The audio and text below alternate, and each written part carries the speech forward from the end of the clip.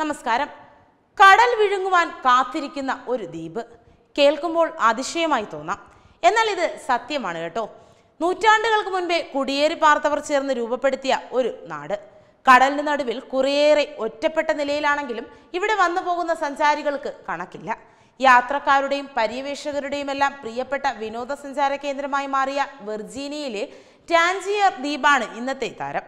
കാഴ്ചകളിലെ വൈവിധ്യവും വ്യത്യസ്തമായ സംസ്കാരവും യാത്രികരെ സ്വന്തക്കാരെ പോലെ തന്നെ സ്നേഹിക്കുന്ന ഇവിടുത്തെ താമസക്കാരും എല്ലാം ചേർന്ന് മനോഹരമായ അനുഭവമാണ് ഇവിടെ എത്തുന്നവർക്ക് ലഭിക്കുന്നത്. എന്നാൽ ഈ ദ്വീപ് ഇന്നൊരു ഭീഷണിയുടെ വക്കിലാണ്. ലോകത്ത് വർദ്ധിച്ചു വരുന്ന ആഗോളതാപനം മൂലമുള്ള മഞ്ഞുപാളികൾ ഉരുകി ഇവിടെ കടലിലെ വെള്ളത്തിന്റെ അളവ് വർദ്ധിച്ചു വരികയാണ്. എന്നാൽ ഇത് ഭീഷണിയായിരിക്കുന്നത് ദ്വീപിന്റെ നിലനിൽപ്പിന് തന്നെയാണ്. ആയിരത്തി എണ്ണൂറ്റി അൻപത് മുതൽ ഈ ദ്വീപിന്റെ വിസ്തീർണം ഓരോ ദിവസം ചെല്ലുന്തോറും കുറഞ്ഞു വരികയാണ്.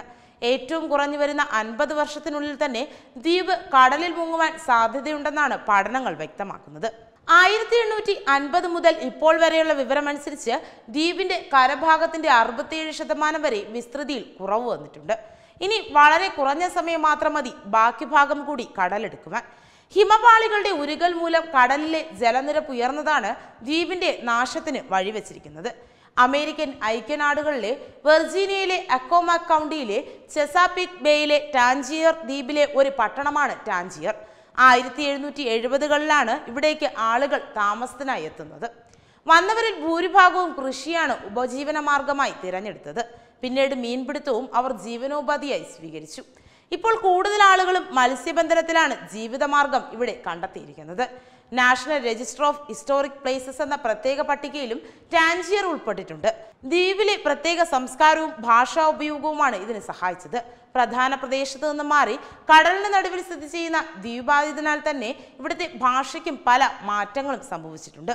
ഒറ്റപ്പെട്ട് കിടക്കുന്ന ഇവിടുത്തെ ജീവിത രീതിയിലും പുറമേയുള്ളവരിൽ നിന്നും വ്യത്യാസം കാണാം.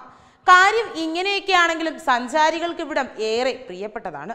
ദ്വീപിന്റെ ചരിത്രവും സംസ്കാരവും മാത്രമല്ല ഇവിടുത്തെ രീതികളും കാഴ്ചകളും ഇവിടേക്ക് കൂടുതൽ ആളുകളെ ആകർഷിക്കുന്നു.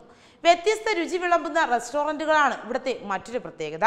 കടൽ വിഭവങ്ങൾ അതിന്റെ തനത് രുചിയിൽ ആസ്വദിക്കാനായി ഭക്ഷണപ്രേമികളും ഇവിടേക്ക് എത്തിച്ചേരാറുണ്ട്. Web desk തത്തുമേ